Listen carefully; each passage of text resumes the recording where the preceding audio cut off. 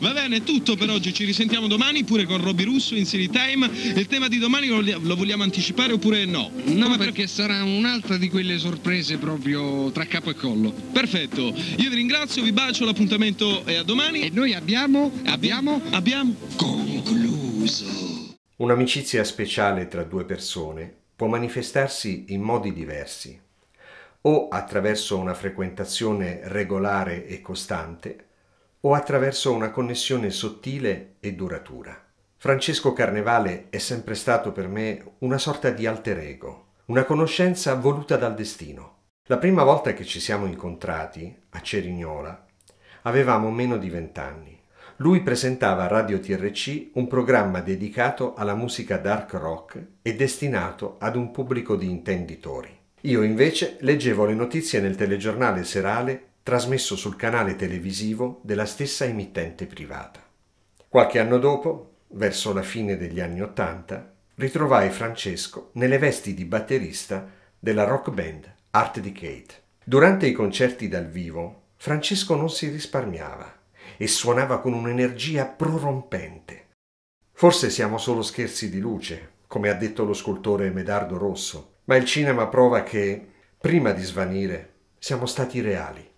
Grazie alla magia del cinema, caro Francesco, potrò ancora vederti e ascoltare la tua voce, come quando, di tanto in tanto, ci vedevamo e ci raccontavamo le novità delle nostre vite. Le sequenze che seguono sono dedicate al Francesco Carnevale artista radiofonico e musicale. È in quelle vesti che l'ho conosciuto e che posso raccontarlo.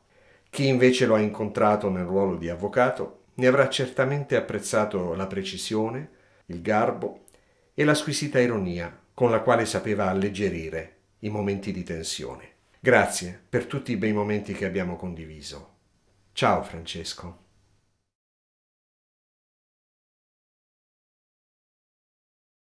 Tu come mai hai scelto di suonare la batteria all'epoca? Io ho deciso di suonare la batteria e non è stata casuale la cosa Diciamo che eh, il primo approccio l'ho avuto in età molto tenera perché abitualmente dai racconti anche fatti soprattutto da mia madre ero facile portare il ritmo su un tavolo su qualsiasi cosa, quindi avevo come dire un'attitudine, ecco, un'attitudine verso lo strumento che eh, l'ho manifestata poi successivamente avvicinandomi alla musica. Ecco. Benissimo, e eh, quindi eh, si è formato questo gruppo? Non si è formato subito, era in pratica come dire, nata questa eh, amicizia ecco, eh, scolastica per essere precisi, perché io, Daniela e Valerio eh, eravamo amici di, di classe, eh, parliamo di scuole superiori chiaramente, scuole medie, scusami, e, e da lì poi il pomeriggio, la sera quando si finiva di studiare si condivideva che cosa? L'ascolto di dischi quali Beatles, quale Pino Daniele e successivamente eh, questi ascolti poi si sono trasportati in un sogno eh, che condividevamo tutti e tre, che era il, sogno, il famoso sogno nel cassetto, iniziare a suonare, quindi iniziare a, a suonare veramente, eh, a fare della musica. Provare insomma anche voi l'emozione di esibirvi su un palco, di avere degli ammiratori non proprio quella di essere protagonisti, non era quella la nostra ambizione.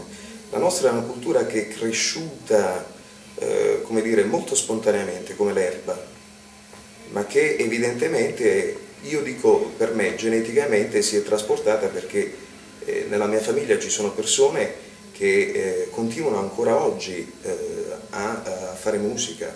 Parlo del, dello zio di mia madre che al San Carlo di Napoli è stato maestro maestro Canfora, non volevamo sentirci protagonisti, ecco, non, ehm, volevamo eh, veramente eh, suonare gli strumenti, creare qualcosa, quindi alla base una cultura musicale che si formava via via strada facendo e trasportarla poi nelle nostre eh, dire, creazioni, le nostre filiazioni che poi sono, stati, sono state trasportate su, su nastri, su dei prodotti che negli anni Ottanta eh, non erano in pratica un CD o cose del genere. Cronologicamente il gruppo ha avuto questa evoluzione, gli Hard Decade da una canzone di David Bowie, il nucleo eh, iniziale era formato da Daniele Russo, eh, pianoforte e basso, Valerio Stia alla voce e Francesco Carnevale appunto alla batteria.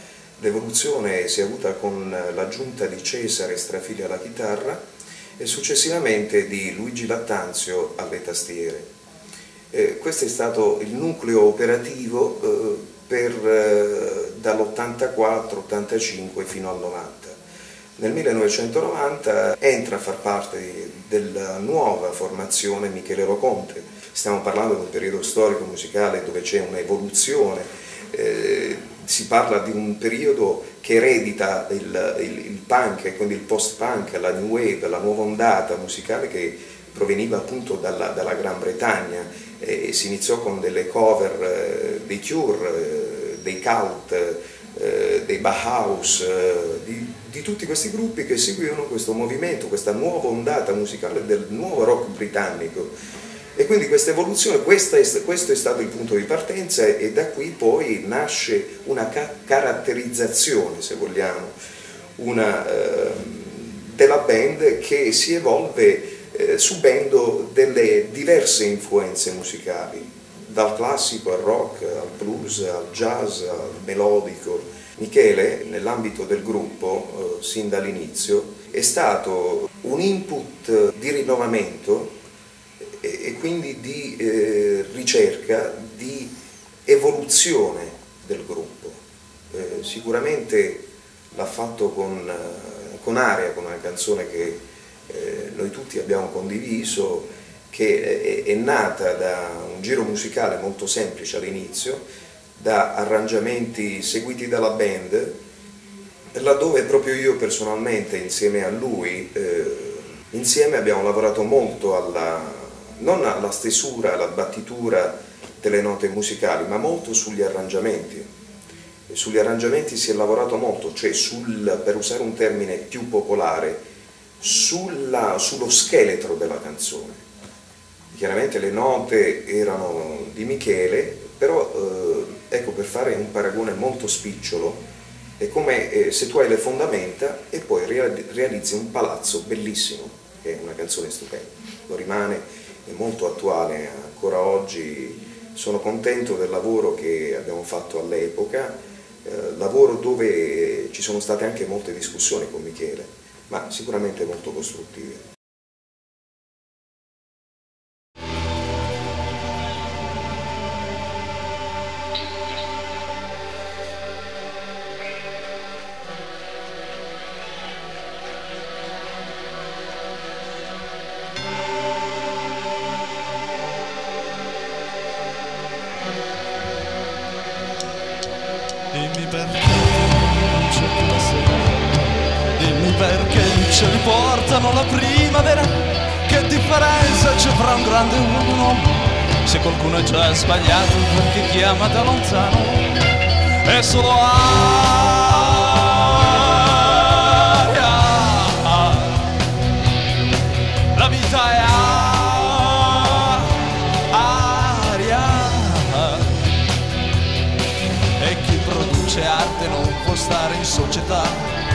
vuole un occhio che contenga tutta la realtà perché noi non sappiamo dove inizia il vento. Se il calore della luce ad occhi chiusi io lo sento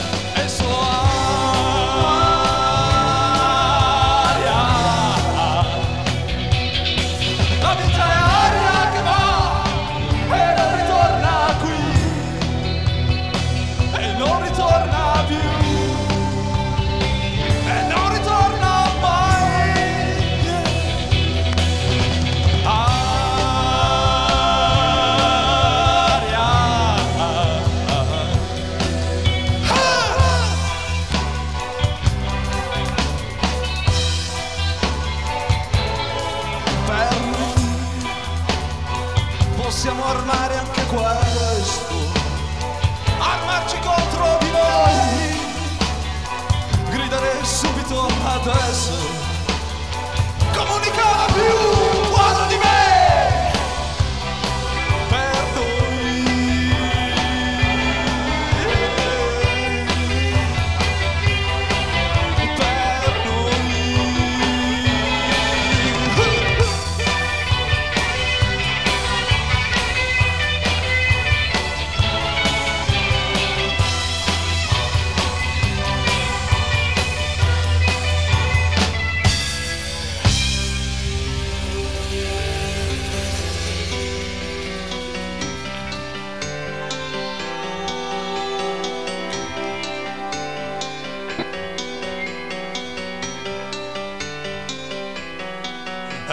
Stanza si scatena la bufera che un corpo è vivo quando ha combattuto una vita intera. L'aria è come noi è solo aria.